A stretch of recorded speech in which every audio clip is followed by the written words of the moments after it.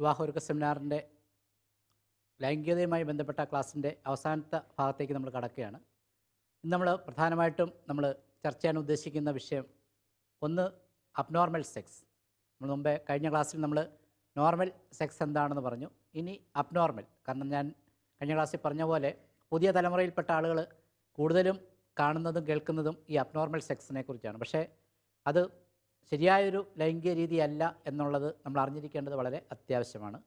രണ്ടാമത് നമ്മൾ കുട്ടികളുടെ എണ്ണത്തെക്കുറിച്ചുള്ള കോൺട്രാസെപ്ഷൻ അല്ലെങ്കിൽ ഗർഭനിരോധനം എന്നുള്ള ഒരു ഇഷ്യൂ അബോർഷനെ കുറിച്ച് പ്രത്യേകം ഒരു ക്ലാസ് ഉള്ളതുകൊണ്ട് അതിലേക്ക് കടക്കുന്നില്ല. കുട്ടികളുടെ എണ്ണം എങ്ങനെ നിയന്ത്രിക്കാം? അവിടെയും നമ്മുടെ സഭ പറയുന്നത് സ്വാഭാവിക കുടുംബാസൂത്രണങ്ങൾ മാർഗമാണ്. അതിനെക്കുറിച്ചും കൂടെ നമുക്കിന്ന് ഇന്ന് ചർച്ച ചെയ്യാം.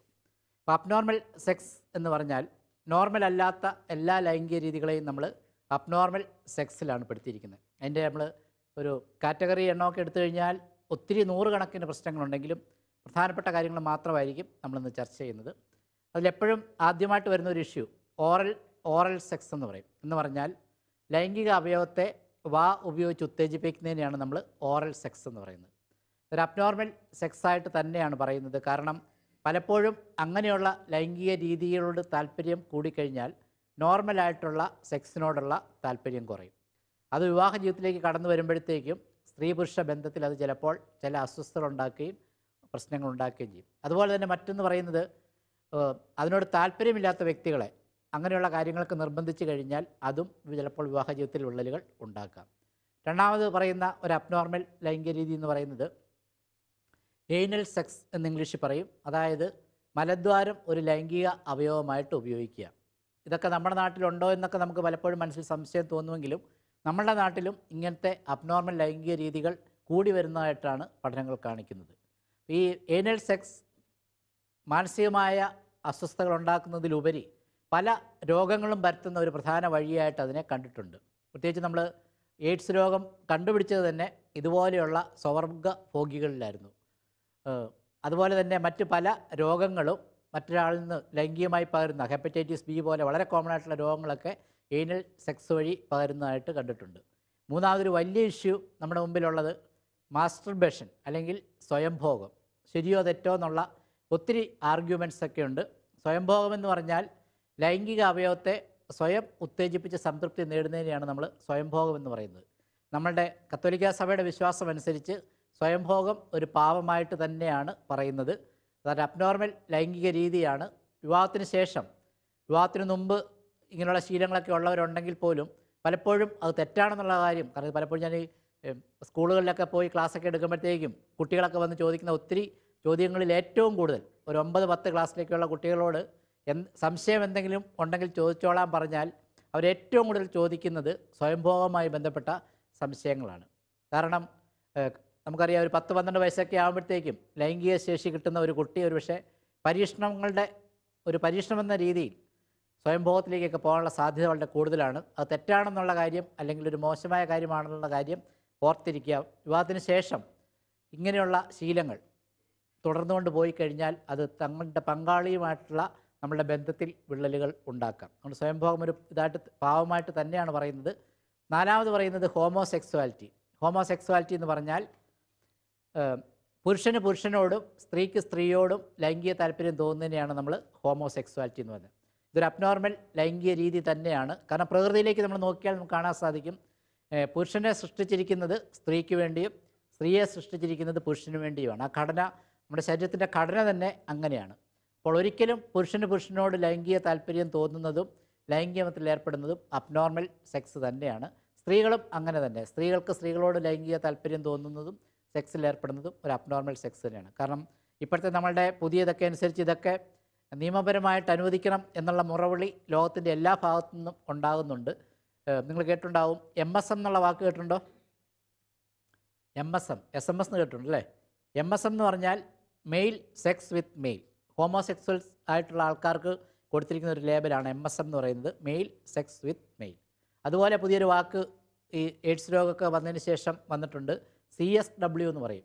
സി എസ് ഡബ്ല്യു എന്ന് പറഞ്ഞാൽ കൊമേഴ്സ്യൽ സെക്സ് വർക്കർ എന്ന് പറഞ്ഞാൽ വിലയ്ക്ക് സെക്സ് വിൽക്കുന്ന ആൾക്കാർ. ഇപ്പോൾ നമ്മൾ പത്രത്തിൽ സ്ഥിരം വായിക്കുന്ന ഒരു വാർത്തയാണ് കുട്ടികളെ ലൈംഗികമായി പീഡിപ്പിക്കുക അല്ലേ? എത്രയോ അല്ലേ? രണ്ട് വയസ്സുള്ള കുട്ടിയെ ലൈംഗികമായി പീഡിപ്പിച്ചു അല്ലെങ്കിൽ അഞ്ച് വയസ്സുള്ള കുട്ടിയെ പീഡിപ്പിച്ചു. അച്ഛൻ തന്നെ മക്കളെ പീഡിപ്പിക്കുന്നു. പ്രായമായ ആളുകൾ പീഡനത്തിന് വിധേയമാകുന്നു. ഇതെല്ലാം ഒരു അബ്നോർമൽ സെക്സ്വൽ ഡീവിയേഷൻസ് ആണ്.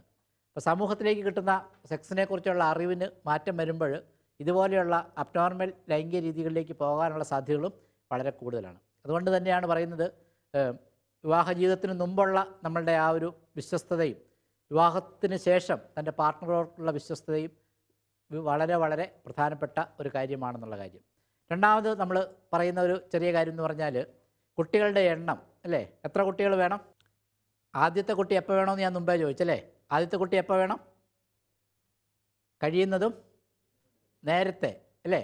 എത്ര കുട്ടികൾ വേണം? അതിനെക്കുറിച്ച് അഭിപ്രായമൊന്നും ഇല്ലല്ലേ കൂടുതൽ കുട്ടികൾ ഉള്ളതാണോ നല്ലത്? കുറച്ച് കുട്ടികൾ ഉള്ളതാണോ നല്ലത്? എന്തു വന്നു നിങ്ങൾ ഏ? കാരണം പഴയ ആ ഒരു ഇതിൽ നിന്നൊക്കെ മാറിപ്പോയി. ഇപ്പോഴത്തെ പുതിയൊരു ഇതെന്ന് പറഞ്ഞാൽ കൂടുതൽ കുട്ടികൾ ഉള്ളതാണ് എപ്പോഴും നല്ലതെന്ന് പറയുന്നു കാരണം ഞാൻ നമ്മുടെ മെഡിക്കൽ കോളേജിൽ കഴിഞ്ഞ വർഷത്തെ എം ബി ബി എസിന്റെ അഡ്മിഷൻ നൂറ്റമ്പത് അഡ്മിഷൻസിൽ അവരുടെ ബയോഡേറ്റ നോക്കിയപ്പോൾ അൻപത്തി മൂന്ന് പേരും വീട്ടിലെ ഒരാളാണ് അല്ലേ? കുട്ടികളുടെ എണ്ണം കുറഞ്ഞാൽ എന്ത് പറ്റും?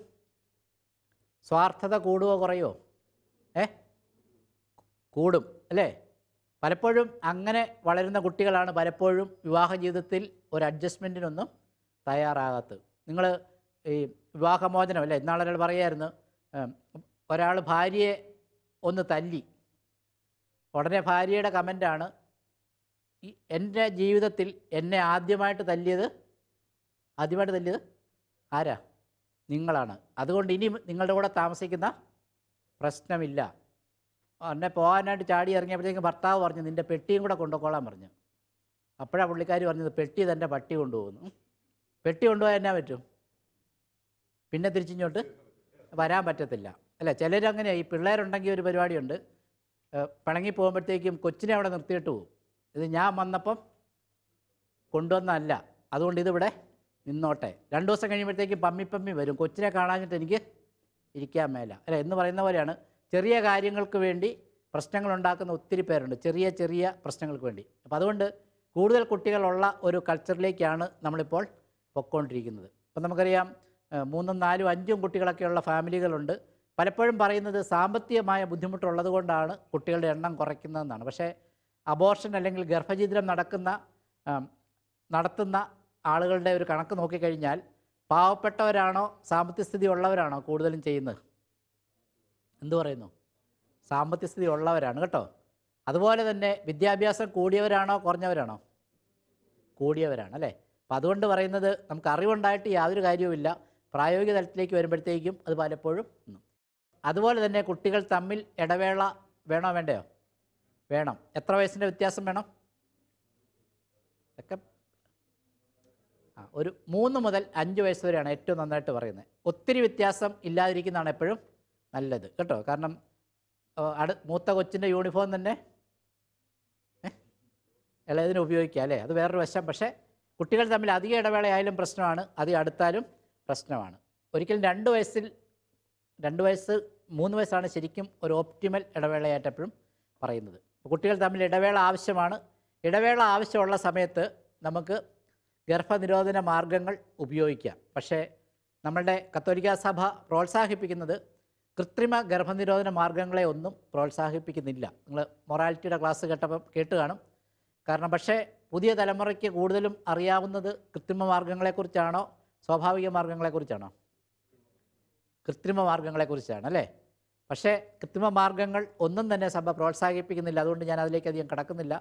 സ്വാഭാവിക കുടുംബാസൂത്രണ മാർഗത്തിൽ വളരെ ശ്രദ്ധിച്ച് നമ്മൾ പ്രാക്ടീസ് ചെയ്യുകയാണെങ്കിൽ നൂറ് ശതമാനവും സുരക്ഷിതമായിട്ട് നമുക്ക് പ്രാക്ടീസ് ചെയ്യാൻ പറ്റുന്ന പല മാർഗങ്ങളും ഉണ്ട്. അതിൽ ഏറ്റവും പ്രധാനപ്പെട്ട മാർഗം എന്ന് പറയുന്നത് സേഫ് പീരീഡ് മെത്തേഡ് എന്ന് പറയും. അണ്ടോൽപാദനം നടക്കുന്ന സമയം അറിഞ്ഞാൽ എന്തൊക്കെയാണ് ഗുണങ്ങളുള്ളത്? ഒരു പെൺകുട്ടി തന്റെ ശരീരത്തിൽ അണ്ടോൽപാദനം നടക്കുന്ന സമയം അറിഞ്ഞാൽ എന്തൊക്കെ ഗുണങ്ങളാണ് ഉള്ളത്? രണ്ട് ഗുണങ്ങളുണ്ട്. കുട്ടികൾ ഉണ്ടാകണമെങ്കിലും അറിയണം ഉണ്ടാകാതിരിക്കാനും അറിയണം. അതിനുള്ള ഒരു ചാർട്ടാണത് നിങ്ങൾ അത് ഫ്രീ ടൈമിലൊന്ന് കാര്യമായിട്ട് വായിക്കുക. മറ്റൊരു കാര്യമുള്ളത് പെൺകുട്ടികൾക്ക് അവരുടെ ശരീരത്തിൽ അണ്ടോൽപാദനം നടക്കുന്ന സമയം ഏകദേശം അറിയാൻ പറ്റുമോ ഇല്ലയോ? ശ്രദ്ധിച്ചു കഴിഞ്ഞാൽ അറിയാൻ പറ്റും. കേട്ടോ? കാരണം നാലഞ്ച് അടയാളങ്ങൾ പറയുന്നുണ്ട് ശാസ്ത്രീയമായിട്ടും. ഒരടയാളം പറയുന്നത് ഏത് വശത്തെ അണ്ടാശയത്തിൽ നിന്നാണോ അണ്ടാശയം പൊട്ടി അണ്ടം പുറത്തു വരുന്നത് ആ സമയത്ത് ആ വശത്തെ അണ്ടാശയത്തിൽ ചെറിയൊരു വേദന പോലെ അനുഭവപ്പെടും. അല്ലേ? ഇപ്പം രണ്ട ഒരു സംശയം നേരത്തെ ഒരു ക്ലാസ്സിൽ ഒരാൾ ചോദിച്ചാണ് ഒരണ്ടാശയമേ ഉള്ളെന്ന് വിചാരിക്കുക? നമ്മൾ സാധാരണ പറയുന്നത് രണ്ടണ്ടാശയം ഉണ്ടെങ്കിൽ വലതുവശത്തെ അണ്ടാശയത്തിൽ നിന്ന് ഈ മാസമാണെങ്കിൽ അടുത്ത മാസം ഇടതുവശത്തെ അണ്ടാശയത്തിൽ നിന്നായിരിക്കും അണ്ടോൽപാദനം അങ്ങനെയാണെങ്കിൽ ഒരണ്ടാശയമേ ഉള്ളെങ്കിലോ? എങ്ങനെയായിരിക്കും? എപ്പോഴും ആ ഉള്ള അണ്ടാശയത്തിൽ നിന്ന് തന്നെ അണ്ടോൽപാദനം നടക്കും. അത് ചിലർ പറഞ്ഞ ഉത്തരം എന്നാന്ന് വെച്ച് കഴിഞ്ഞാൽ ഒന്നടവിട്ട മാസങ്ങളിൽ നടക്കുമെന്നാണ്. അങ്ങനെയല്ല. കാരണം ഹോർമോണുകളാണ് നമ്മളുടെ അണ്ടോൽപാദനം നിയന്ത്രിക്കുന്നത്. അതുകൊണ്ട് അത് റെഗുലറായിട്ടും ഉള്ള അണ്ടാശയത്തിൽ നിന്നും എല്ലാ മാസവും നടന്നുകൊണ്ടിരിക്കും. അപ്പോൾ ഏത് വശത്തെ അണ്ടാശയത്തിൽ നിന്നാണോ അണ്ടം ഉൽപ്പാദിപ്പിക്കുന്നത് ആ വശത്ത് ചെറിയൊരു വേദന പോലെ ചിലർക്ക് അനുഭവപ്പെടും. രണ്ടാമത് പറയുന്ന ഒരു അടയാളം അണ്ടോൽപാദനം നടക്കുന്ന സമയത്ത് പെൺകുട്ടികളുടെ ശരീരത്തിന്റെ ചൂട് ഒന്ന് രണ്ട് ഡിഗ്രി കൂടും. ചെറിയൊരു പനിയുള്ളതുപോലെ ഫീൽ ചെയ്യും. മൂന്നാമത് പറയുന്ന ഒരു അടയാളം അണ്ടോൽപാദനം നടക്കുന്ന സമയത്ത് ലൈംഗിക താല്പര്യം കൂടുതലായിരിക്കുമോ കുറവായിരിക്കുമോ കൂടുതലായിരിക്കും. കാരണം ഒരു പെൺ സ്ത്രീയുടെ സെക്സിനോടുള്ള താല്പര്യം തീരുമാനിക്കുന്ന ഹോർമോൺ എന്ന് പറയുന്നത് ഈസ്ട്രജനാണ്. അണ്ടോൽപാദനം നടക്കുന്ന സമയത്തായിരിക്കും അത് ഏറ്റവും കൂടുതൽ അളവിൽ സ്ത്രീകളിൽ ഉൽപ്പാദിപ്പിക്കപ്പെടുന്നത്. സെക്സിനോടുള്ള താല്പര്യം കൂടുതലായിരിക്കും. മൂന്നാമത് പറയുന്ന ഒരു അടയാളം എന്ന് പറയുന്നത് ഈ സമയത്ത് അണ്ടോൽപാദനം നടക്കുന്ന സമയത്ത് സ്ത്രീകളുടെ സ്ഥലങ്ങളിൽ എന്തോ വന്ന് നിറഞ്ഞിരിക്കുന്ന പോലെ അവർക്ക് ഫീൽ ചെയ്യും. ഒരു ഫേംനെസ് അവർക്ക് ഫീൽ ചെയ്യും. നാലാമത് പറ അഞ്ചാമത് പറയുന്നത് അണ്ടോൽപാദന സമയത്ത് സ്ത്രീകളുടെ ലൈംഗിക അവയവത്തിൽ നിന്ന് വരുന്ന സ്രവങ്ങൾ വളരെ കട്ടി കുറഞ്ഞതായിരിക്കും. ശരിക്കും നമ്മൾ ശ്രദ്ധിച്ചു കഴിഞ്ഞാൽ അണ്ടോൽപാദനം നടക്കുന്ന സമയം ഒരു പെൺകുട്ടിക്ക് ഏകദേശം അറിയാൻ പറ്റും. അത് വെച്ചിട്ട് ആണ് നമ്മൾ ഈ നാച്ചുറൽ ഫാമിലി പ്ലാനിങ്ങിന്റെ ഒരു ഒരു പ്ലാൻ തയ്യാറാക്കുന്നത്. ഞാൻ മുമ്പേ ആദ്യം ആർത്തവത്തെക്കുറിച്ച് പറഞ്ഞപ്പോൾ ഒരു കാര്യം പറഞ്ഞു. അണ്ടോൽപാദനം എന്നാണ് നടക്കുന്നതെന്ന് ഏകദേശം കണ്ടുപിടിക്കാൻ പറ്റുമോ ഇല്ലയോ? ചാർട്ട് വെച്ചിട്ട് പറ്റും. കാരണം അടുത്ത ആർത്തവം എന്നാണോ പ്രതീക്ഷിക്കുന്നത് അവിടെ നിന്നും എത്ര ദിവസം പുറകോട്ട് നോക്കണം പതിനാല് ദിവസം പുറകോട്ട് നോക്കുക. അത് ചിലപ്പോൾ ഒന്നോ രണ്ടോ ദിവസം അങ്ങോട്ടും ഇങ്ങോട്ടും മാറാം. അപ്പം അതിനോടടുത്ത സമയങ്ങൾ അണ്ടോൽപാദനം നടക്കുന്നതിനോടടുത്ത സമയങ്ങൾ കുട്ടികളുണ്ടാകാൻ ഏറ്റവും കൂടുതൽ ഏറ്റവും കൂടുതൽ സാധ്യത ഉള്ള സമയം. മനസ്സിലായോ? അപ്പം അതുകൊണ്ട് ആ സമയത്ത് സുരക്ഷിതമായ ലൈംഗികത്തിൽ ഏർപ്പെടാൻ പറ്റത്തില്ല. അതുപോലെ തന്നെ ഒരു ആർത്തവം കഴിഞ്ഞിട്ടുള്ള അടുത്ത ദിവസങ്ങൾ കുട്ടികളുണ്ടാകാൻ ഏറ്റവും കുറവ് സാധ്യത ഉള്ള ദിവസങ്ങൾ. മനസ്സിലായോ? അപ്പോൾ പേടി കൂടാതെ കുട്ടി ഉണ്ടാകും എന്ന പേടി കൂടാതെ ലൈംഗികത്തിൽ ഏർപ്പെടാൻ ഒരാർത്തവം കഴിഞ്ഞിട്ടുള്ള അടുത്ത ദിവസങ്ങളിൽ ഒരു കുഴപ്പവും ഇല്ല. അതുപോലെ തന്നെ അടുത്ത ആർത്തവത്തിന് തൊട്ട് മുമ്പുള്ള ദിവസങ്ങളും കുട്ടികൾ ഉണ്ടാകാൻ യാതൊരു സാധ്യതയും ഇല്ലാത്ത സമയം. അപ്പോൾ ഈ മൂന്ന് സമയങ്ങൾ വെച്ചിട്ടാണ് നമ്മൾ സേഫ് പീരിയഡ് മെതേഡ് എന്ന മെതേഡ് പ്രാക്ടീസ് ചെയ്യുന്നത്. അണ്ടോൽപാദനം നടക്കുന്ന സമയം കുട്ടികൾ കുട്ടികളുണ്ടാകാൻ ഏറ്റവും കൂടുതൽ സാധ്യത ഉള്ള സമയം. ഒരാർത്തവം കഴിഞ്ഞിട്ടുള്ള അടുത്ത ദിവസങ്ങൾ കുട്ടികളുണ്ടാകാൻ യാതൊരു സാധ്യതയും ഇല്ലാത്ത സമയം. അടുത്ത ആർത്തവത്തിന് തൊട്ട് മുമ്പുള്ള ദിവസങ്ങൾ കുട്ടികളുണ്ടാകാൻ യാതൊരു സാധ്യതയും ഇല്ലാത്ത സമയം. അത്രയും മാത്രം ഓർത്തിരുന്നാൽ മതി. കൃത്യമായിട്ടും ഇത് ശ്രദ്ധിച്ചു കഴിഞ്ഞാൽ കുട്ടികളുടെ കുട്ടികൾ തമ്മിലുള്ള ഇടവേള ക്രമീകരിക്കാനും ആവശ്യമുള്ളപ്പോൾ മാത്രം കുട്ടികൾക്ക് ജന്മം നൽകാനും ഇത് നിങ്ങളെ സഹായിക്കും. നമുക്കറിയാം ഗർഭചിദ്രം കൂടി വരുന്നു ഒരു ഗർഭചിദ്രം നടത്തിയാൽ അപ്പനായിരിക്കുമോ അമ്മയ്ക്കായിരിക്കുമോ കൂടുതൽ മാനസിക സംഘർഷം? അമ്മയ്ക്കായിരിക്കും. കാരണം ആദ്യത്തെ പത്ത് മാസം അമ്മയുടെ ഉള്ളിൽ തന്നെയാണ് ഈ കുഞ്ഞ് വളരുന്നത് അല്ലേ? അമ്മമാർക്ക് കൂടുതൽ ഇഷ്ടം ആരോടാ? കൊച്ചിനോടോ അപ്പനോടോ? ഒരു സിറ്റുവേഷൻ വന്നാൽ. കുട്ടനാട്ടിൽ കൂടെ പോകുമ്പോഴത്തേക്കും കൊച്ചും അപ്പനും വെള്ളത്തിൽ പോയി. ആരെ ആദ്യം അമ്മ രക്ഷിക്കും? അങ്ങനെ വെച്ചപ്പം ഒരു ചേച്ചി പറഞ്ഞു അത് ഒഴുകിപ്പോയെങ്കിൽ പോട്ടെന്ന്. അപ്പം അതുകൊണ്ട് കൊച്ചിനെ ആദ്യം രക്ഷിക്കും അല്ലേ? അമ്മയ്ക്കാണ് കൂടുതൽ മാനസിക പ്രശ്നങ്ങൾ ഉണ്ടാകുന്നത്. അതുകൊണ്ട് ഒരിക്കലും രണ്ട് കാര്യങ്ങളാണ് പറയുന്നത്. ആവശ്യമില്ലാതെ ഒരു കുഞ്ഞിനും ജന്മം നൽകരുത്. കുടുംബത്തിന്റെ പാരമ്പര്യം നിലനിർത്താൻ ആൺകുട്ടി വേണമെന്ന് നിർബന്ധമുണ്ടോ? എപ്പോഴും ചോദിക്കുന്ന ഒരു ചോദ്യമാണ്. വേണോ വേണ്ടയോ? നമ്മുടെ സമൂഹത്തിൽ വളരെ ആഴത്തിലുള്ള ഒരു വിശ്വാസമാണ് കുടുംബത്തിന്റെ പാരമ്പര്യം നിലനിർത്താൻ ആൺകുട്ടി വേണം. പക്ഷേ അത് ശാസ്ത്രീയമായിട്ട് പറഞ്ഞാൽ തെറ്റാണ്. കാരണം കുടുംബത്തിന്റെ പാരമ്പര്യം എന്ന് പറയുന്നത് ഞാൻ ആദ്യത്തെ ആദ്യത്തെ ക്ലാസ്സിൽ പറഞ്ഞു. നമ്മുടെ പാരമ്പര്യം എന്ന് പറയുന്നത് അൻപത് ശതമാനം ആരുടെ അപ്പന്റെ. അൻപത് ശതമാനം അമ്മയുടെ. അത് ആൺകുട്ടിയാണെങ്കിലും പെൺകുട്ടിയാണെങ്കിലും ഒരുപോലെ തന്നെയാണ്. കേട്ടോ? പെൺകുട്ടികളെ കല്യാണം കഴിച്ച് അയക്കുന്നതുകൊണ്ടാണ് നമ്മളിങ്ങനെ പറയുന്നത്. പക്ഷേ പാരമ്പര്യം ഒരുപോലെ തന്നെയാണ്. ആൺകുട്ടിയാണെങ്കിലും പെൺകുട്ടിയാണെങ്കിലും ഒരു കുഴപ്പമില്ല ഇനി ഒന്ന് രണ്ട് കാര്യങ്ങളും കൂടെ ഇതിനകത്ത് ആഡ് ചെയ്യാനുള്ളത്. പലപ്പോഴും ചോദിക്കുന്ന ഒരു ചോദ്യമാണ് ഇരട്ടക്കുട്ടികൾ ഉണ്ടാകുന്നത് എങ്ങനെ? എങ്ങനെയാണ് ഇരട്ടപ്പഴം കഴിച്ചാൽ ഉണ്ടാവുമോ ഉണ്ടാവുമോ ഇവിടെ ഒരു കല്യാണ വീട്ടിൽ ഭയങ്കര പ്രശ്നം. എൺപത് വയസ്സുള്ള ഒരാൾക്കൊണ്ട് ആരാണ്ട് ഇരട്ടപ്പഴം കൊടുത്ത്. അയ്യോ വിളമ്പിയവനെ തല്ലിയില്ലെന്നേ ഉള്ളൂ. ഇരട്ടപ്പഴം കഴിച്ചാൽ ഉണ്ടാവുമോ ഇല്ല അല്ലേ? ഇരട്ടക്കുട്ടികൾ ഉണ്ടാകുന്നത് നോർമലാണോ അബ്നോർമലാണോ? ഏ? നോർമലാണ്. കേട്ടോ? ഒരു സ്ത്രീക്ക് ഒരേ സമയം എത്ര കുട്ടികളെ വരെ വളർത്താം?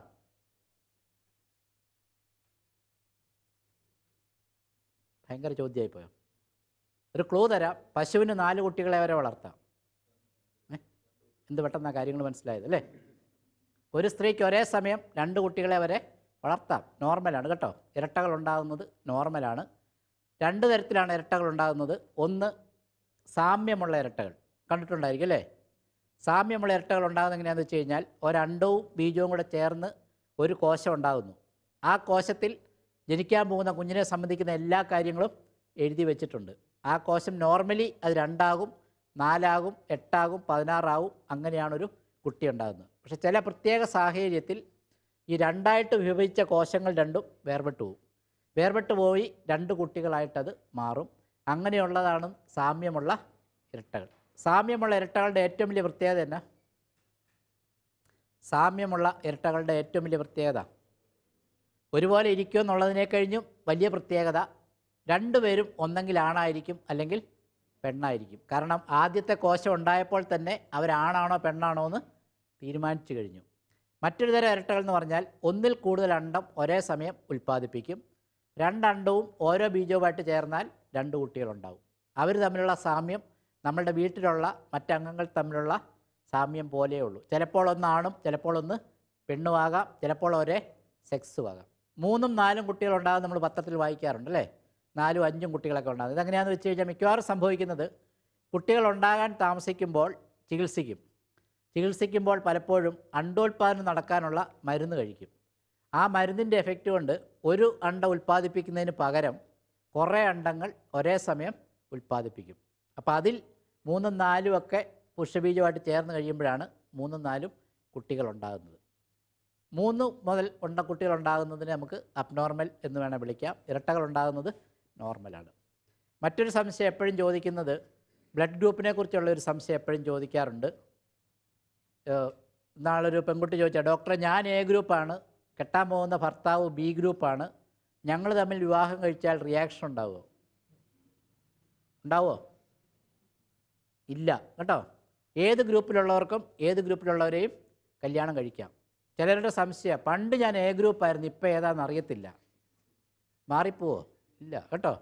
രക്തഗ്രൂപ്പൊക്കെ നമുക്ക് പാരമ്പര്യമായിട്ട് കിട്ടുന്നതാണ്. നമ്മുടെ അപ്പന്റെയും അമ്മയുടെയും രക്തഗ്രൂപ്പ് അനുസരിച്ചാണ് നമ്മുടെ ഗ്രൂപ്പും ഉണ്ടാകുന്നത്. പിന്നെ ആകപ്പാടെ പറയുന്നത് നെഗറ്റീവ് ഗ്രൂപ്പുള്ള പെൺകുട്ടികൾ. നമുക്കറിയാം ഒരു നൂറ് പേരെ എടുത്തു കഴിഞ്ഞാൽ അതിൽ ഒന്നോ രണ്ടോ പേര് ചിലപ്പോൾ നെഗറ്റീവ് ഗ്രൂപ്പായിരിക്കും നെഗറ്റീവ് ഗ്രൂപ്പുള്ള പെൺകുട്ടികൾ പോസിറ്റീവ് ഗ്രൂപ്പുള്ള ആളെ കല്യാണം കഴിച്ചാൽ ചിലപ്പോൾ അവർക്ക് രണ്ട് തരം കുട്ടികളുണ്ടാകാനുള്ള സാധ്യതയുണ്ട്. നെഗറ്റീവ് ഗ്രൂപ്പുള്ളതും പോസിറ്റീവ് ഗ്രൂപ്പുള്ളതും.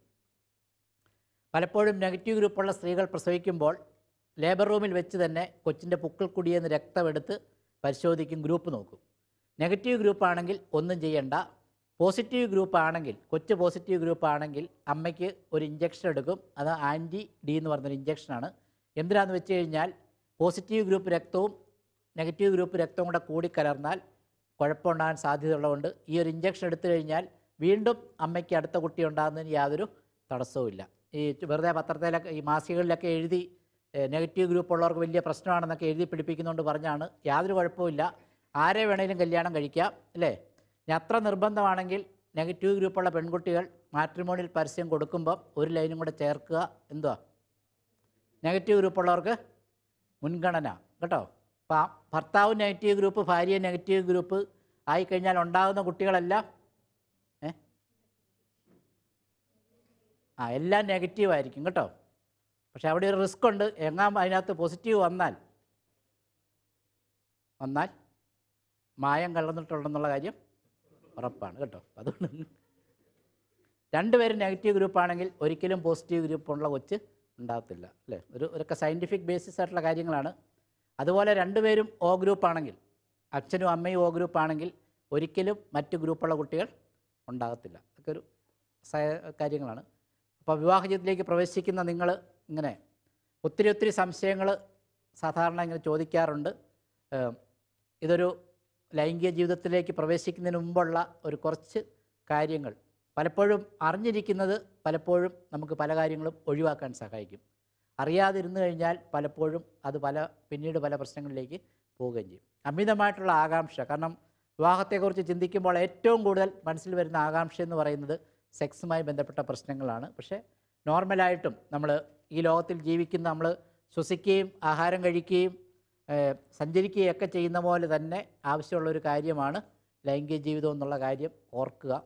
കാരണം നമുക്കെല്ലാവർക്കും അതിനുള്ള കഴിവ് ഈശ്വരൻ തന്നിട്ടുണ്ട്. അതിനകത്ത് യാതൊരു സംശയവും ഇല്ല. അതുകൊണ്ട് ഇതൊരു എന്താ പറയുക ഒരു നമ്മളല്ലോ ഇപ്പോൾ ഒരു ദൈവ ദൈവവിളി എന്ന് വേണമെങ്കിൽ വിളിക്കാം അല്ലേ? ഒരു അടുത്ത തലമുറയ്ക്ക് ജന്മം നൽകുക. അതൊരു വളരെ പ്രധാനപ്പെട്ട ഒരു കാര്യമാണ്. അതുകൊണ്ട് തന്നെ വിവാഹ ജീവിതത്തിലെ ലൈംഗിക ജീവിതം ഒരിക്കലും ഒരു തെറ്റായ കാര്യമാണെന്ന് വിചാരിക്കേണ്ട. അത് നന്നായിട്ട് മുൻപോട്ട് കൊണ്ടുപോവുക. നിങ്ങളുടെയൊക്കെ ജീവിതത്തിൽ ഒരിക്കലും ഇതുമായി ബന്ധപ്പെട്ട പ്രശ്നങ്ങൾ ഒരിക്കലും ഉണ്ടാകാതിരിക്കാൻ ഈശ്വരൻ നിങ്ങളെല്ലാവരെയും അനുഗ്രഹിക്കട്ടെ.